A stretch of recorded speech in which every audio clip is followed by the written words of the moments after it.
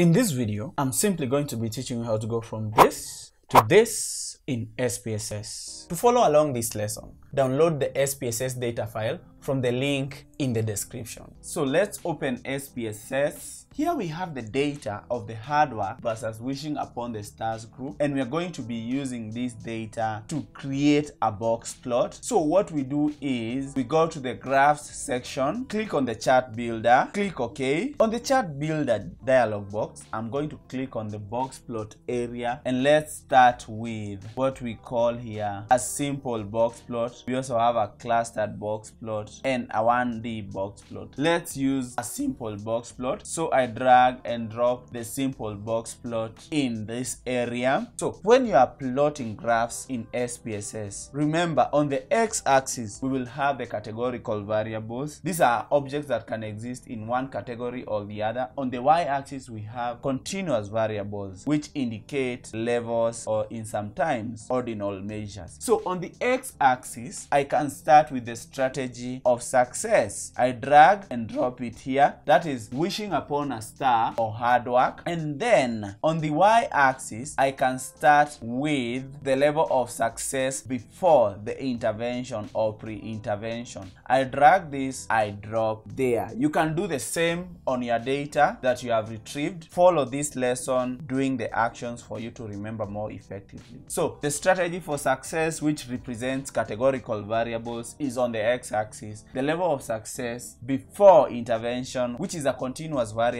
is represented on the y-axis. And then I click OK. Now let's check the output section of SPSS. This is the output section of the strategy of success before the intervention. How can we analyze this data or what do box plots tell about our data? Box plot reveal so much information about your data. The blue area is the box. That's why box plots are called box plots because of the blue area which represents the box. On the top of the box plot, we have a top whisker and on the bottom we have a bottom whisker. Now on the center of the box on a box plot we have a black line which represents the median. We also have on the upper edge of the box in a box plot the upper quartile while the lower edge of the box in a box plot represents the lower quartile number. Now the topmost area of the top whisker on a box plot will represent the highest value in a data set, while the lower area in the bottom whisker of a box plot will represent the lowest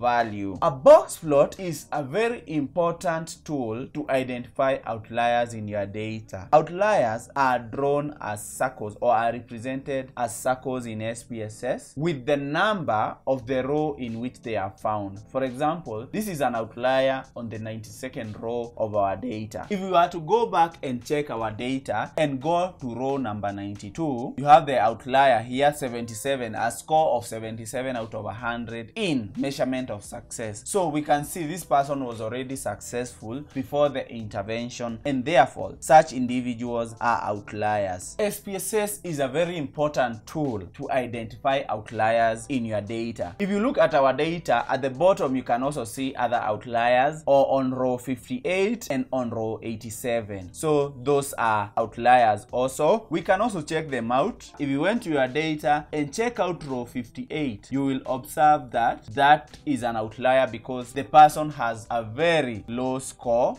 before the intervention, which is 24 out of 100. They are already doing very badly in life. We can also check row 87. You can see the person is already doing very badly. Box plots are important in detecting outliers because in some instances you can make mistakes when filling out data in SPSS. Now, I want to plot the success of the participants in this study post-intervention. I go to the graph section, I click OK, I go to the box plot, I drag and drop or double click the simple box plot to the plotting area. I want to have the strategy for success as the categorical variables which are in the x-axis and now I want to put the continuous variables in the y-axis. When you are plotting, always remember categorical variables in the x-axis, and continuous variables in the y-axis. I want to drag and drop the level of success after intervention there, and I want to click OK. So we have our next set of box plots here. You can see they are different in a way. There's something that looks like a star here. It's called an asterisk, and we also have a circle. Now, how do we analyze these box plots produced by SPSS representing the level of success after intervention by strategy of success? So we have the wishing upon a star group and the hard work group. SPSS will represent extreme scores as an asterisk. Remember the number after the label of an extreme score or an outlier is the row in which the score is found. For example, this extreme score is found on row number 229. So we can go back to our data set and check row number 229. So this is row number 229 and this is success post intervention. So this is the row in which an extreme score is found. 94 out of 100 in success score post intervention. SPSS helps you to identify extreme scores which you can either modify if you made a mistake while entering data or you can highlight in your data analysis. Again, SPSS will help you identify outliers because for example the circle represents an outlier which is on row number 204. Now the body of a box plot represents the interquartile range and the interquartile range is the middle 50% of all the scores in a data set. So all the scores, 50% of all the scores will fall within the range of a box plot. Again, on the top whisker of a box plot is the top 25% of the scores in a given data set, while the bottom whisker of a box plot will represent the bottom 25% of all the scores in a box plot. Did you find value in this video? Be sure to like and subscribe for more such videos in the future.